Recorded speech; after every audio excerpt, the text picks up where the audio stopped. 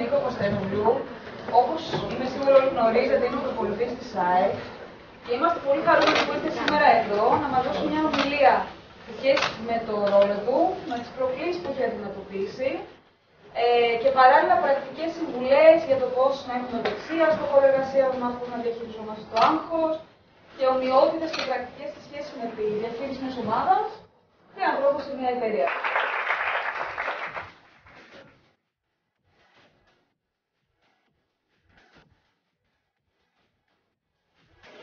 Καλησπέρα σας καταρχήν.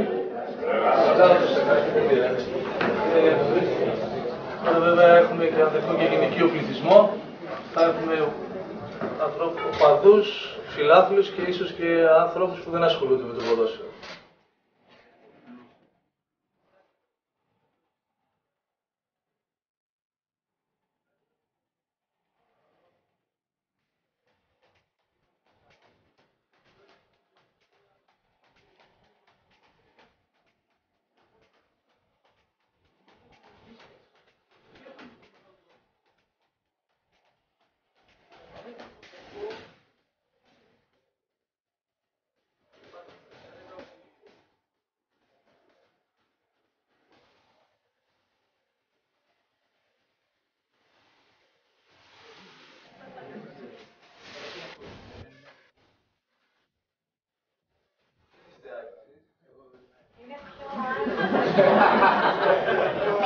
Πιο άκρα από την άλλη.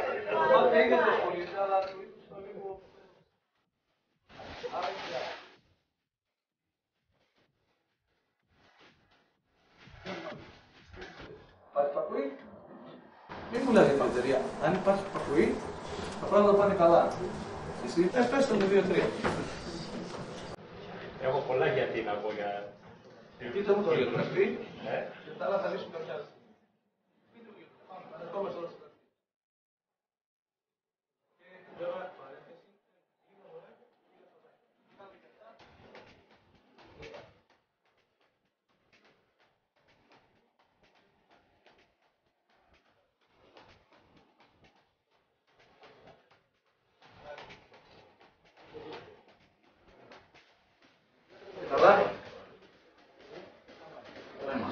Ε, είναι δύσκολο.